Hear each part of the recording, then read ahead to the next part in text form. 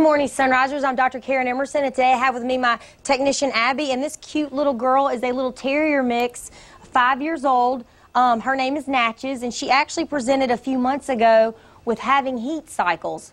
And what that means is she was actually coming into estrus every month. But the kicker is a few uh, years ago, she was actually spayed at the Humane Society.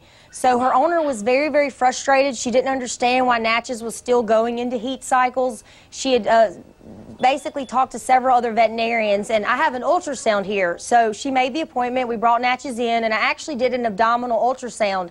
And on the ultrasound, I was actually able to find an ovary that was missed during the surgical procedure. so she still had an ovary present that was making her have the hormone levels to go into the heat cycle. And that can be very dangerous if you still have a, one ovary in there. They, they can become cancerous and they can have cysts on them. And on ultrasound, I did notice that there was some cyst on this ovary, and this ovary was very irregular in size. So what we did is we actually did go into surgery again. I went in and I actually found the ovary that was mistakenly left, which is, doesn't happen a lot. I mean, I think it's wonderful that these shelters are providing this care for our animals, but sometimes if they're still going into heat cycle, it may be a, a you know something like that. That maybe an ovary was left or or something like that. So we went in and we removed the ovary, and it, it did have multiple cysts on it. She also had a lot of her cervix left, so we went in and took a lot of that out.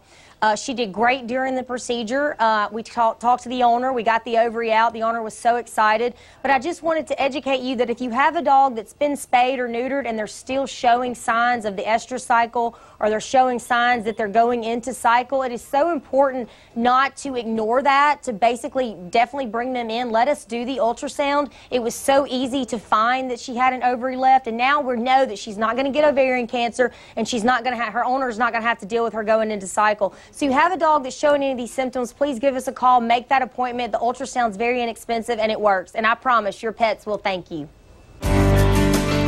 WCBI Animal Health with Dr. Emerson was brought to you by Emerson Animal Hospital in West Point.